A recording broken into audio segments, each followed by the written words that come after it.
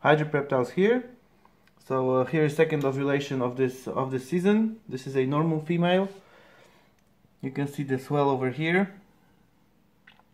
And uh, this girl was bred to a uh, ivory male, which is uh, possibly a kingpin also, because uh, he came from the pairing of a uh, kingpin yellow belly male to a pinstripe yellow belly female. So there might be something else going on other than just a super yellow belly. So that's why I'm um, I was uh, breeding him to her. She's a normal female, and uh, hopefully we can see what's uh, inside of him. So here is uh, here is the ovulation.